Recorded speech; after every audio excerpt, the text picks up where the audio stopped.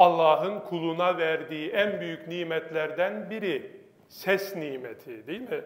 Hadis-i şerif olarak da nakledilir. Zeyyinul Kur'ane bi asvatikum.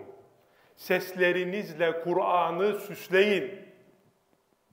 İnsana Allah'ın verdiği en büyük nimetlerden biri herkese vermiyor Cenab-ı Hak.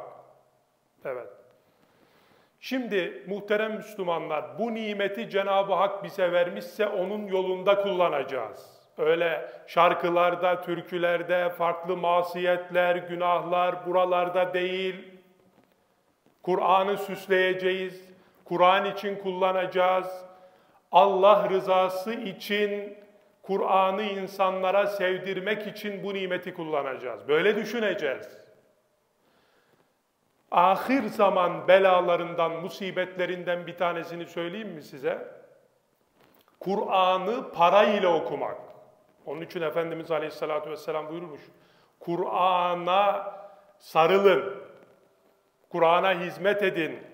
Bir kavim gelmeden, bir topluluk gelmeden önceki o topluluk ahir zamanda Kur'an'ı ekmek teknesi haline getirecekler. Kur'an'ı parayla okumak. Ya Adamın sesi güzel. Pazarlık yapıyor. Şu kadara gelirim. Çıkıyor. 10 dakika 15 dakika Kur'an okuyor. Ondan sonra anlaştığı miktarı parayı alıyor. Bu işin ticarete dökmüş yani.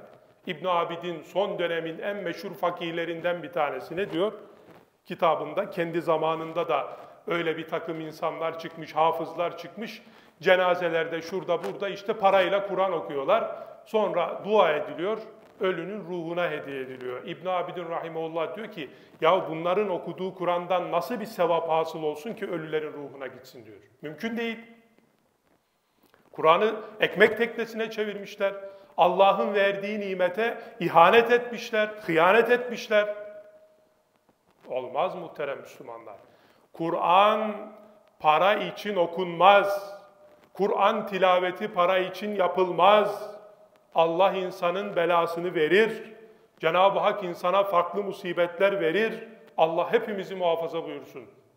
Allahümme salli ala seyyidina Muhammedin ve ala ali seyyidina Muhammed.